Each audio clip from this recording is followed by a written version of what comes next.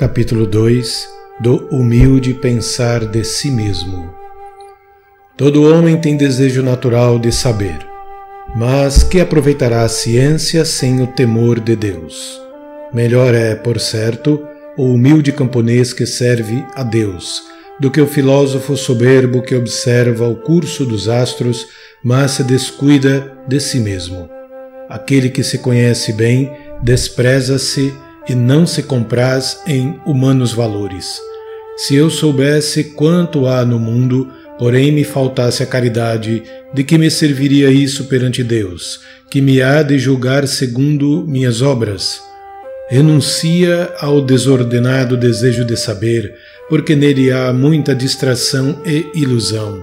Os letrados gostam de ser vistos e tidos por sábios Muitas coisas há cujo conhecimento pouco ou nada aproveita a alma, e muito insensato é quem de outras coisas se ocupa e não das que tocam a sua salvação. As muitas palavras não satisfazem a alma, mas uma palavra boa refrigera o espírito e uma consciência pura inspira grande confiança em Deus. Quanto mais e melhor souberes, tanto mais rigorosamente serás julgado, se com isso não viveres mais santamente.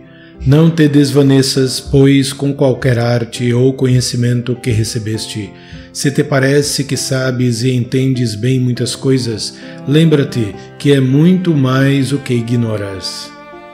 Não presumas de alta sabedoria, antes confessa a tua ignorância como tu queres a alguém preferir-te, quando se acham muitos mais doutos do que tu e mais versados na lei? Se queres saber e aprender coisa útil, deseja ser desconhecido e tido por nada. Não há melhor e mais útil estudo que conhecer-se perfeitamente e desprezar-se a si mesmo, ter-se por nada e pensar sempre bem e favoravelmente dos outros, prova é de grande sabedoria e perfeição. Ainda quando vejas alguém pecar publicamente ou cometer faltas graves, nem por isso te deves julgar melhor, pois não sabes quanto tempo poderás perseverar no bem.